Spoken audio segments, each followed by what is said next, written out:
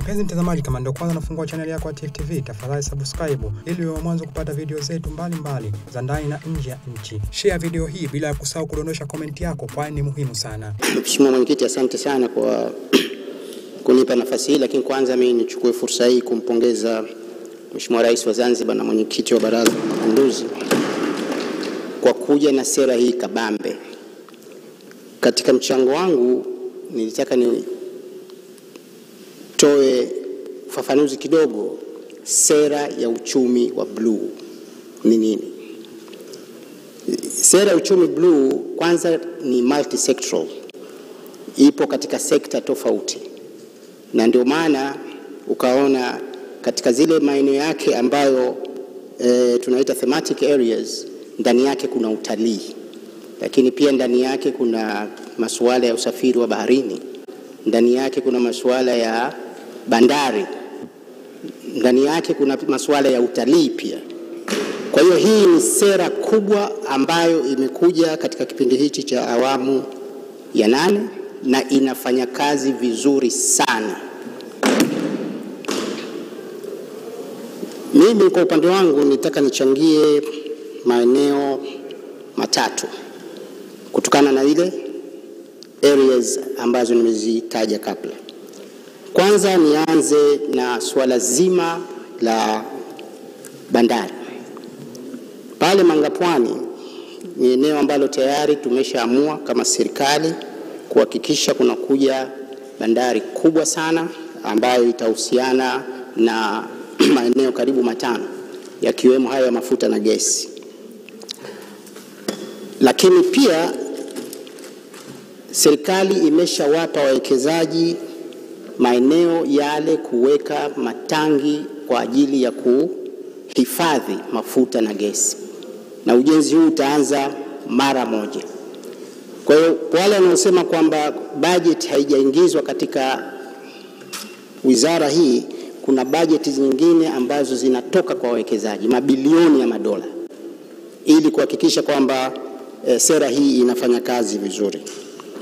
Lakini ukiachana na hivyo, ukija kwa upande wa ZIPA yenyewe kule maeneo huru ya uwekezaji e, Micheweni, Maziwa Ng'ombe, tayari tumeshawapa wawekezaji wawili ambao watakuja kuwekeza masuala mazima yanayohusiana na uchumi bluu.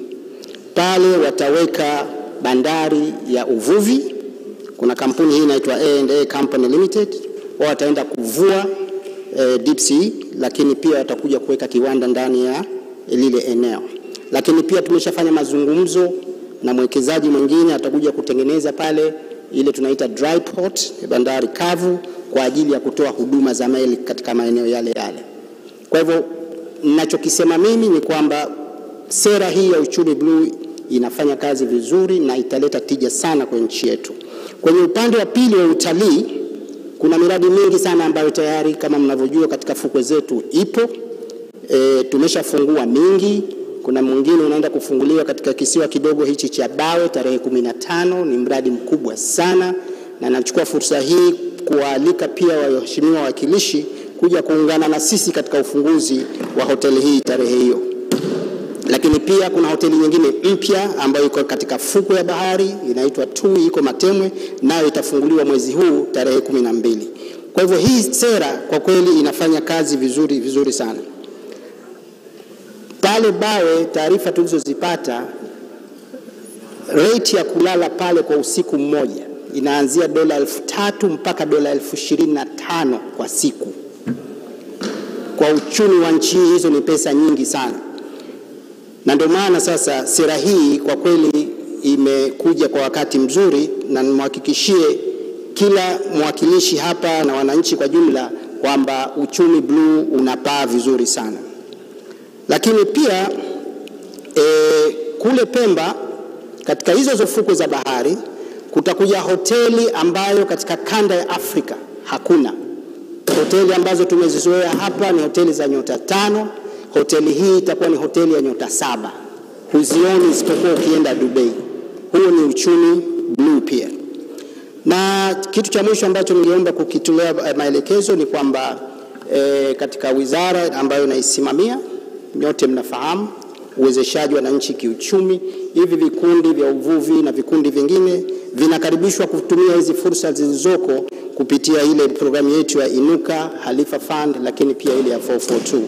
Baada ya maelezo hayo, Mheshimiwa, naunga mkono sana bajeti hii kwa asilimia mia moja na ningewaomba wawakilishi nao waache hayo mabuti ambayo wamejipanga kuyatoa ili tumpe fursa e, Mheshimiwa Shabani, lakini tu, tumpe fursa Mheshimiwa Rais kuitekeleza vizuri hii sera yake ya uchumi bluu. Baada ya hayo e, naomba kuwasilisha. Tifu TV inakupatia video mbalimbali mbali kutoka ndani na nje ya nchi. Tafadhali endelea kutufuatilia kupitia chaneli yetu ya Tifu TV, YouTube, Facebook, Twitter na Instagram, bila kusahau kudondosha komenti yako, kwani ni muhimu sana. Tifu TV tupo kijamii zaidi.